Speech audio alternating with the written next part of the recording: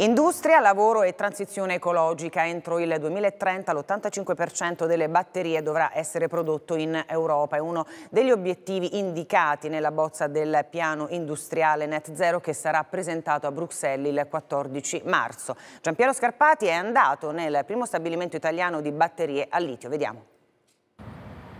La transizione ecologica passa anche per Teverola, in provincia di Caserta. Siamo nella prima gigafactory in Italia che produce batterie a litio, depositi di energia ad alta efficienza utilizzati dalle grandi aziende energetiche per fare le cosiddette reti intelligenti, per i mezzi industriali ma anche per il trasporto pubblico e per le abitazioni, per chi per esempio deve accumulare l'energia prodotta da un impianto fotovoltaico. Qui c'è l'LFP, litio ferrofosfato, che è la materia prima per realizzare eh, l'elettrodo positivo per fare la batteria.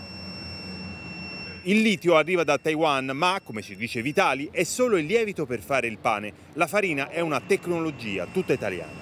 Le nostre batterie sono prodotte con materie prime sostenibili, come il litio ferrofosfato, che non presenta metalli inquinanti o materie inquinanti come il nickel e il cobalto. Questo è il prodotto finale, il modulo per una batteria a litio ed è una batteria completamente riciclabile. Grazie a un progetto di oltre 400 milioni di euro approvato dall'Unione Europea, entro il 2026 la capacità del sito campano aumenterà di 20 volte.